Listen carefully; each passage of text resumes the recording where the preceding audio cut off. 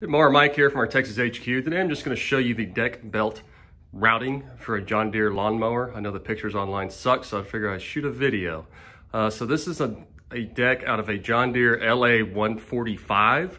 Uh, it's a 48 inch deck with three blades. It's a fairly thick, large deck.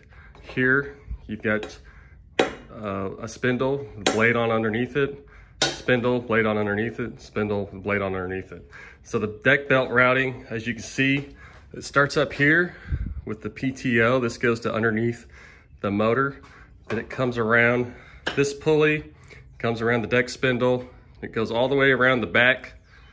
Then it comes around the other spindle, comes around here to the tensioner pulley, around here to the front deck spindle, and then back around and back to the front of the motor. So I hope this helps. Uh, get your deck belt routed because it's not routed right. Uh, you got lots of issues. So this is Mower Mike. Please subscribe, and I appreciate you guys watching.